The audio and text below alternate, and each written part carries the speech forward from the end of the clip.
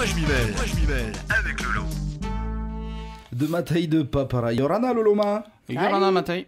J'ai entendu parler d'une manifestation pour protester contre euh, la grève à gaz de Tahiti. Mais apparemment, ça a été annulé, hein, comme le concert de Black M, non? Eh ben non, la manifestation a bien eu lieu, mais sous la forme d'une marche ultra discrète, puisque l'instigateur de ce défilé, qui est un certain Fabrice Samoyo, alors je me permets de citer le nom puisqu'il avait quand même tenu à médiatiser, enfin si on peut appeler ça médiatiser, son événement, un citoyen lambda excédé par cette grève qui s'éternise et qui espérait ainsi mobiliser l'opinion publique pour envahir les rues et faire une démonstration de mécontentement. Au final, il nous a fait ce que l'on appelle désormais une fina verde, puisqu'il y avait sept, personnes à son défilé, un chiffre qui ne ah. varie pas. Euh, que l'on fasse appel à l'organisateur ou qu'on fasse appel à la police. Une fina verde en référence à une manifestation de cette citoyenne qui elle aussi espérait générer un mouvement populaire en protestant, rappelez-vous, en début d'année, contre le projet de résolution pour l'adoption d'une loi organique tendant à actualiser et conforter le statut d'autonomie de la Polynésie oh française. on aller.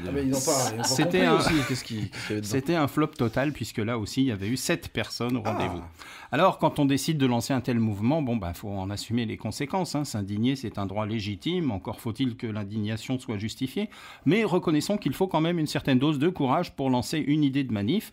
D'ailleurs, Fabrice Samoyo est étrangement soutenu à ce titre par pas mal d'internautes, enfin pas mal, c'est relatif, qui saluent son initiative, mais qui par contre ont totalement oublié de se joindre au défilé. Non, parce que c'est toujours facile hein, de faire un petit clic tranquille chez soi, sur son ordinateur, sa tablette ou son smartphone pour soutenir telle ou telle cause, mais pour se bouger, c'est une autre histoire. Donc bravo hein, à ceux qui félicitent ce citoyen, mais où étiez-vous samedi matin au moment du défilé?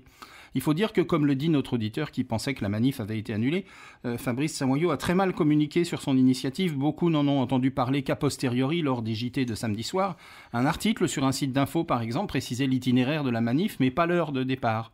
Les réseaux sociaux incontournables dans ce genre d'occasion n'en faisaient pas mention, ou alors d'une manière archi confidentielle. Euh, l'instigateur est pourtant bien sur Facebook, mais visiblement depuis pas longtemps, avec trois amis et un poste invitant à la manif qui précise avec plus de fautes d'orthographe que de participants à sa marche qu'il y aura dispersion du cortège vers 11h. Une fin de manif qui n'aura pas trop perturbé la circulation en ville. Les médias avaient quand même fait le déplacement et Samoyo explique avant la manif qu'il craint que cette grève en particulier et les conflits sociaux en général ne ternissent l'image de marque de la Polynésie au niveau touristique. Oui, euh, pourquoi pas, mais enfin, c'est pas vraiment le sujet. Après son défilé, il ajoute qu'il demande à participer aux négociations qui, je le rappelle encore, portent sur des questions salariales et sur des indemnités de retraités de l'entreprise, mais il espère apporter quoi à la table des négociations dans un conflit qui sent le coup politique en plus, c'est extrêmement naïf de sa part, parce que je l'imagine arriver à la table des négociations en disant oui, c'est moi qui ai mobilisé six personnes pour protester contre votre grève, donc vous comprenez, la population n'en peut plus, donc trouvez vite une solution, parce que sinon je mobilise à nouveau mes troupes, et la prochaine fois on sera deux fois plus nombreux, on dépassera les 15 personnes dans les rues de Papété.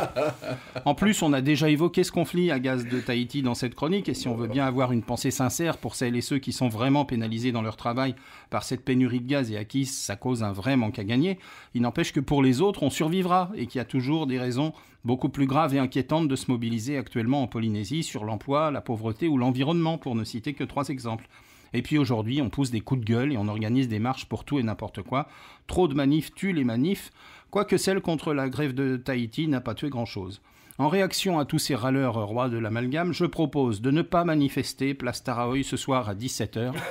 Oui, je compte sur vous, surtout ne venez pas. C'était De quoi je m'y mêle, avec Lolo.